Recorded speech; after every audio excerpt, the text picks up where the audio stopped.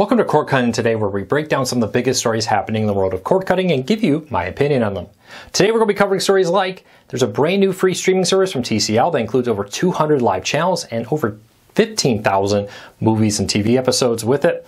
YouTube TV has a crazy cheap NFL Sunday ticket deal out there. We'll take a look at that. Max is adding even more um, news here with a partnership with CNN. It's a little complicated. It's not live CNN news. And then there's a ton of T-Mobile news and Walmart news coming up that we're going to talk about here in a second, all related to cord cutting. So with that said, let's um, take a look at the stories. If you want to, read them for yourself and come up with your own opinion before I dive into it. Check out the show notes down below and the first pinned comment. Can't forget that. To take a look at all the stories there, them for yourself, and leave me a comment. Let me know what you think of these stories. If you're new here or you've been here a while, hit that subscribe button, hit that thumbs up, let YouTube know you enjoy what we do here so YouTube recommends our videos to more people, helping us grow, helping us support our families, and hopefully helping you break free from the high cost of cable TV. So let's start off today with TCL launching a new service called TCL TV Plus, all one word, smushed together, TCL TV Plus. It's available on uh, TCL TVs. I'll talk about all the models in a second, but comes with over 200 live channels and over 1,500 on-demand movies and television shows with that. They say they partnered with Universal, Scripps, FilmRise, and more to bring content, and they'll bring new content every week. Though it may not necessarily be new live channels every week, it could be new on demand content every week with this. And it's one more way. Now, TCL is following kind of steps of Samsung and LG. They both had exclusive free streaming services for their TVs. TCL says this will launch on their Google TV Edition TVs um, now and will come to Roku Smart TVs and Fire TV Smart TVs from TCL later this year. No announcement on timeline for that, but huge collection of content here um, in one spot. I love free services. I always say it doesn't cost you anything to have multiple free services. If you ever looked at my background, you probably see a ton of them. Check it out, TCL. It's a pretty nice lineup here. They've actually had a free service for a while. They're rebranding, relaunching, making this a lot larger, a lot nicer. We'll see how it all plays out. But TCL, a lot more content coming here. Again, Google TVs now from TCL available on Roku and Fire TVs at a later date from TCL. No word on this being available on other devices, non TCL owned TVs. You will need to go download it when it becomes available. I don't believe it will auto install. You find it in the app stores on your favorite TVs. All right. YouTube TV yesterday announced the pricing for NFL Sunday Ticket Student Edition, and it's crazy good. You can get NFL Sunday Ticket for just $109 a season as a student, and NFL Red Zone added for just $10 more a season. Really good pricing on that. Now you have to verify you're a student. Sorry. Sorry, everybody was like, hey, what's the cheapest course out there I can get? Um, it's a pretty good deal out there for students. Likely they want you to subscribe now and get hooked to it so when you get older, have a job, you'll keep paying for NFL Sunday ticket. But check it out, link in the show notes down below. If you are a student and you want to take advantage of this, you can do it. Now, Google told us if you'd already subscribed to NFL Sunday Ticket and you qualify for this, to contact support about switching over to this.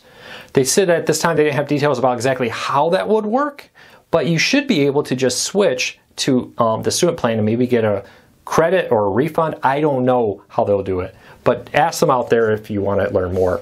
Okay, next story up. Max is adding live 24 7 news. Now, this isn't necessarily going to be a live feed from CNN, it's live news in partnership with CNN. So, this new section coming to Max from Warner Brothers Discovery will be called CNN Max. It will offer a collection of live and pre recorded programming from CNN, CNN International, and original programming created just for Max with this. And it will be offered both on demand content and a 24 7 live feed, much like CNN, how during the day maybe you get news but then in the evenings, you often get talk programming or pre recorded programming there on that. So keep that in mind. Now, this is not CNN. They're not going to give you a 24 7 feed of CNN, but some programming will come from CNN, CNN International, and be original programming created from CNN staff exclusively for Max on this channel. Now, they will also have a huge catalog of on demand content with over 900 episodes of episodes of new and legacy CNN programming, they say, including programs from Who's Talking to Chris Wallace and the whole story with Anderson Cooper will be made available on demand here through this. So we'll have to keep a very close eye on that. But tons and tons of content coming to Max on September 27th when the CNN section on Max will be rebranded to CNN Max and have a ton of additional content added to it, including that live news feed. Now, keep in mind, this is um, a independent feed, much like how CBS News feed is different from the CBS feed you get uh, on TV. Uh, where maybe the Sunday morning show airs on the CBS News free streaming service, but airs later in the day. You have to watch on the broadcast network to watch it live, for example. We'll have to wait until later this week to learn more, of, or later this month maybe, to learn more about Max and how that all works out with it. All right, let's dive into T-Mobile. Some news, they have a lot there. T-Mobile's 5G home internet is about to become a lot better. They're going to be releasing a new modem probably next week. The, the mobile report spotted this in FCC filing, which included a full manual for the new modem and a look at it. it tells us that they expect the um, release of this modem to be next week, the last week of September 2023, depending on when you're watching this, uh, or, or August 2023. I was just talking about September and I tripped myself up. But this will be a new modem, which should be significantly better at giving you internet. A few things. It has the option for an external antenna, so you can um, get a bigger antenna connected here for better reception in weak reception areas. Has more bands and width it can take advantage of for more spectrum, which means it'll be able to find an area that's not as crowded and take advantage of more internet options to give you faster internet speeds. And reportedly will also have a stand to help you mount it by a window. Always best to put these kind of things by a window for best reception.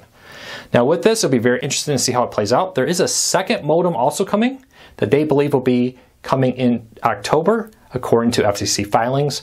But T-Mobile 5G home internet with this new modem should be significantly better, better internet speeds, better Wi-Fi coverage, and better um, antenna reception there with the option for an external antenna with it. So we'll keep a close eye on that.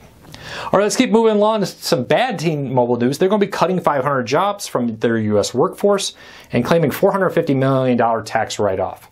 Now, interesting wording on this memo that Reuters got their hands on cutting jobs could mean that they intend to just have a bunch of jobs that are open and not fill.